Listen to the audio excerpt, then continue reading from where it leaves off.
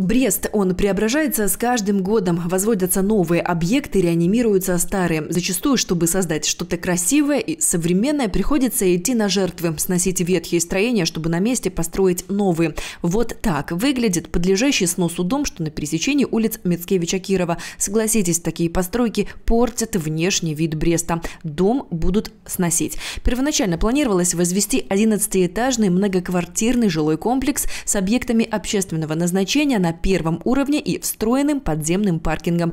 Но во время общественного обсуждения жильцы соседнего дома внесли свои идеи и пожелания. Мы не против того, что должна застраиваться городская земля. Никто не против, но не ухудшая наши условия жизни. Вы понимаете, дому 50 лет, выросли дети, растут внуки, все привыкли, приезжают, все это. Пожалуйста, стройте.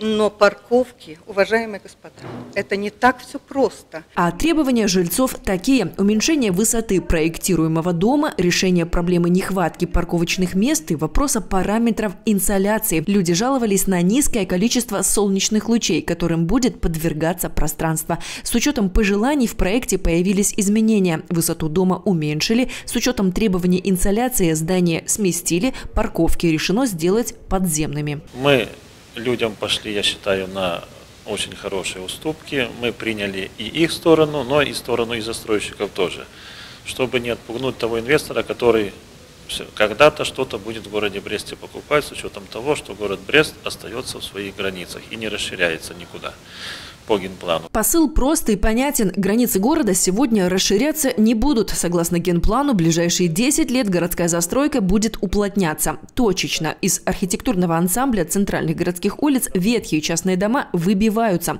На смену серым старым постройкам с обваливающейся штукатуркой и заколоченными досками окнами придет новое, современное и комфортное жилье. Самые такие страшные участки э, такие заброшенные с сараями, с э, отселенными домами, они будут реализовываться, и на месте их уже будет что-то такое красивое. Я думаю, что уже в этом году у нас будет, вот, начнет Димаш строить, э, Продом начнет на Карла Маркса свой проект реализовывать.